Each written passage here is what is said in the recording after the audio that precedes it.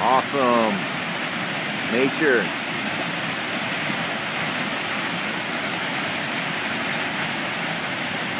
Oh, I like to just sit under that.